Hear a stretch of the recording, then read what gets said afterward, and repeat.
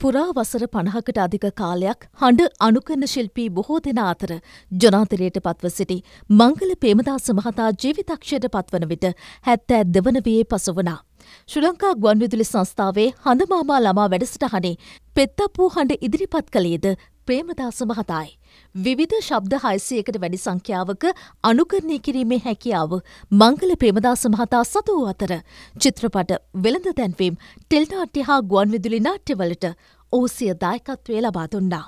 අභාව ප්‍රාප්ත මංගල ප්‍රේමදාස මහතාගේ දේහය රාජකිරිය ගෝතමී පාර අංක එකසිය තිස්තුනෙන් විසිපා දරණ නිවසේ තැන්පත් කර ඇති අතර අවසන් කටයුතු අද පස්සුරු හතරට බොරල්ල කනත්තේදී සිදුකිරීමට නියමිතයි. podcast.